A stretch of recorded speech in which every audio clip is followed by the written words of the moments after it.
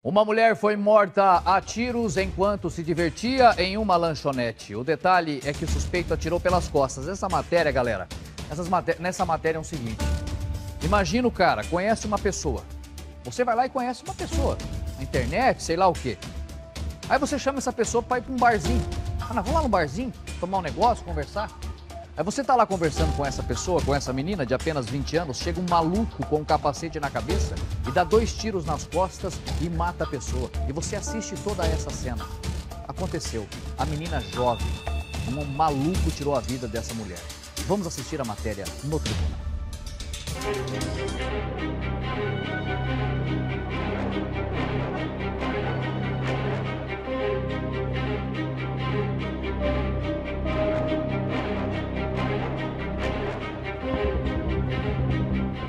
Letícia Fantin Liman, de 30 anos, foi assassinada enquanto estava em uma lanchonete.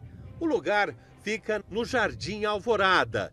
Segundo informações conseguidas pela nossa equipe de plantão, Letícia estava na companhia de um homem quando o suspeito teria chegado em um carro. Ele usava um capacete para não ser identificado. Foi até a vítima e atirou duas vezes pelas costas. Letícia teve morte instantânea.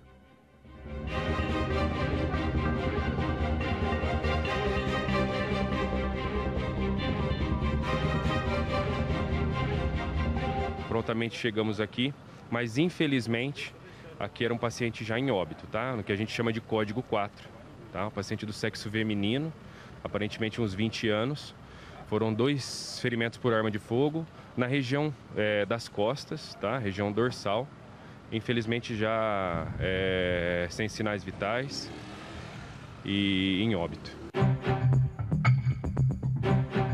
As cápsulas que ficaram no chão são as primeiras pistas que a polícia militar encontrou ao chegar ao local. Algumas testemunhas foram ouvidas Imagens de câmeras de segurança serão analisadas agora pela Polícia Civil, que investiga o caso.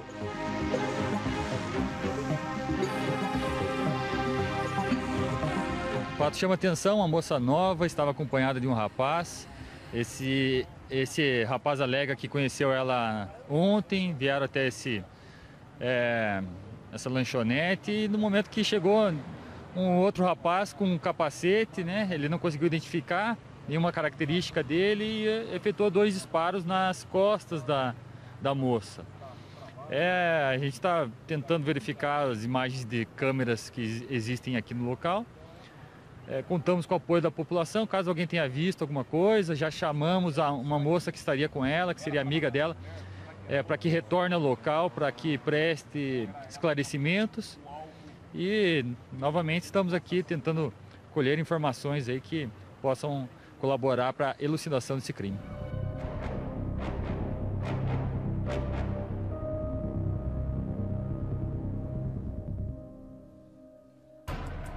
Eu não consigo entender. Eu confesso que quando eu vejo, não dá pra gente falar que é um ex, não dá para saber. Mas geralmente isso acontece porque tem pessoas que não aceitam o fim dos relacionamentos. Malucos, né? Por isso que a gente tem que tomar cuidado com quem se envolve.